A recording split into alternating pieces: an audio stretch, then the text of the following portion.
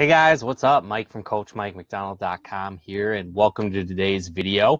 In today's video, I just want to ask you the question of how many seeds are you planting every day, right? You know, one thing that I run into when I'm helping people build their business, or maybe I'm talking to someone and their business isn't where they want to be, one of the first questions I like to ask people is, you know, how many contacts, how many invites, how many seeds are you planting every single day in your business. Where one thing that I find a lot of people do is they will start setting appointments, they're starting to take action, but they just don't do enough to succeed at a high level. Right. And so what happens is they get out there and, you know, one of the favorite uh, audios I listened to over the years is Building Your Network Marketing Business from Jim Rohn great audio. I'd highly recommend checking that out. And one of the things he talks about is it's a lot, you're building your business is a lot like farming, right? And so when you're out there, you're reaching out to people, you're sending invites, basically you're planting seeds, and some of those seeds are going to sprout. Some of them, the birds will get them, like Jim Rohn talks about, right? So maybe that's their negative friends, their skeptical neighbors, uh, their broke roommate, right? Whatever the case might be. Um, somebody negative talks them out of the business, or maybe that's their own self doubts that do that, whatever the case might be. And so the birds are going to get some, as Jim Rohn would say, right? So here's the thing when you're out there building your business, how many seeds are you actually planting? Every single day, right? You know, one thing that I find a lot of people do, maybe they'll go to an event or they'll watch a webinar or they'll uh, read a book or something to that effect, right? And then they get all pumped up, they get motivated, and like, all right, you know, and they go throw out like 100 seeds or maybe 30 seeds or 20 seeds, you know, it's 10 times their normal activity that they ever did. And then they just walk away from the field completely and they never water the seeds, right? They never pick the weeds, they never do anything like that. They just take that initial burst of activity and they never do anything else ever again well, that's probably why you're not succeeding. Where again, if you just consistently are putting out seed, you're consistently setting those invites, reaching out to people, that's what's going to create that result long term. Because what happens is sometimes seeds will sprout immediately, right? Some of the people you send invites to, they're gonna you know, respond right away. You're gonna set an appointment right away. Some of those seeds you're to put out there, you're to send some invites, you're to reach out to people.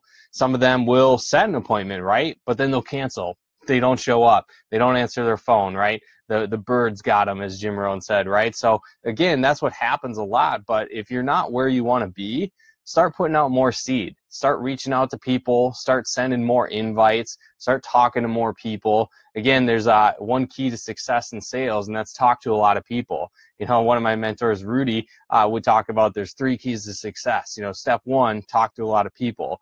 Uh, key number two, talk to a lot of people. Key number three, talk to a lot of people, right? So it's like the more seeds that you plant, the more people you talk to, the better results you're going to get in your business when you're reaching out to people. So that's one thing to really keep in mind and ask yourself how many seeds are you planting? Because if you're not throwing a lot out there, you know, things happen.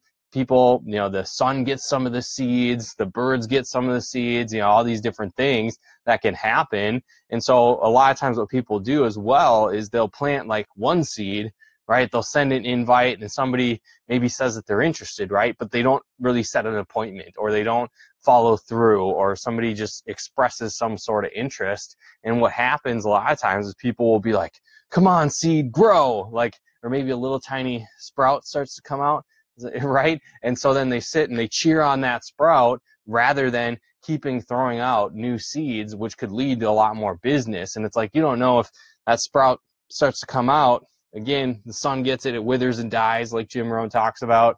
You know, somebody steps on it, it, it doesn't work right. And so that's something to really keep in mind because you can't stop throwing out the seed and watching seeds grow.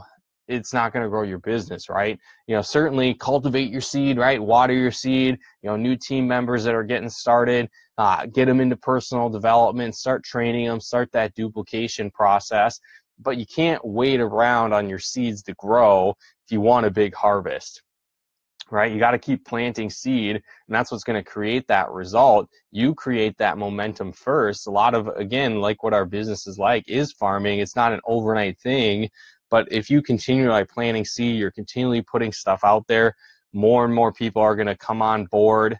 Some leaders are going to start to develop. Again you're fertilizing that seed, you're watering it, you're working with your new people coming up, and it starts to grow and expand as you do that, right? So keep planting that seed. Don't expect to have a huge harvest by planting one seed or yelling at your seeds to grow faster or sitting in the background having a cheering section for your seeds. Like that doesn't work either, right? You got to have that consistent basis of you being out there planting it you're the farmer, you're the responsible for the harvest right now.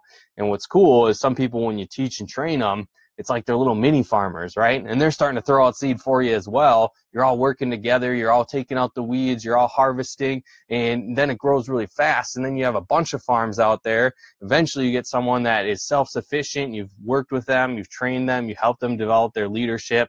They're growing their own farm, and they're like, dude, thanks for teaching me. You know, high five, right? Here's a couple watermelons for you. You know, here's a p- portion of my crop because you helped me get things rolling.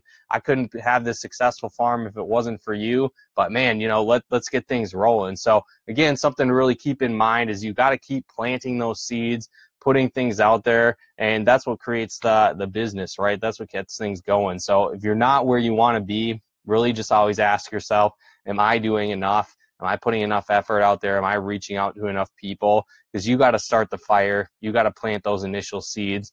Again, once those plants grow and mature, they they die, right? But they give off some other seeds, right? And so it can grow and expand as you do that. But you have to be the person that starts with that initial seed and planting a lot.